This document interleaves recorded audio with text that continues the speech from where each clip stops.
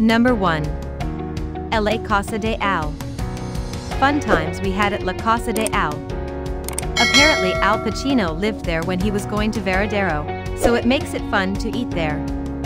I took the lobster and it was very good. Lovely time and beautiful view. Number 2. LA Fondue Casa del Queso Cubano. Ate here on a recent trip to Varadero. My friend and I went to this restaurant hoping to get an unforgettable fondue experience, and sure got it. We ordered lobster and bread slash cheese fondue as an appetizer and one beer and one water. The beverage items came after about 10 minutes which we didn't really mind because we were watching the beautiful cars drive down the strip. Number 3. LA Villa Sonata Restaurant. Mandy is an affable host, and we had a fantastic meal but all was lost when we noticed how unclean the kitchen and bathroom were. Seeing cockroaches in the toilet area and on the food preparation counter, and the numerous bugs in the bathroom were enough to sink our estimation of this casa.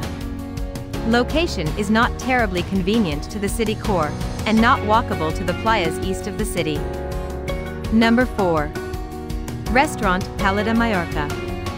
The food was excellent in portions much larger than expected based on menu prices. Despite having a lunch reservation the wait staff seemed overwhelmed by the large group, 16 people, tables not set up when we arrived. Number 5. Tiki Bahia de Cochinos. This was one of the best meals we had on our whole trip in Cuba. We had a whole grilled fish that was shared among five people and was truly spectacular. The view is beautiful and the people that work there were great as well. Number 6. Restaurante Romantico San Severino. We are open the whole week, save Wednesdays. We are waiting for you to have a nice stay in our restaurant. We open at 12 p.m. Till late in the night, close when last customer leaves the restaurant. Bookings may be done at phone number of the restaurant. Number 7. El Buchan. We fell in love with El Buchan some time ago, and when we decided to go back to Matanzas, we started dreaming about returning to El Buchan. It is not fabulously decorated or particularly lavish, but it is warm, delicious, clean, and the overall experience is delightful. Somehow it is romantic and charming. Number 8. Restaurante Arabato. Excellent friendly staff and great service, this was good value food very popular with the local Cubans.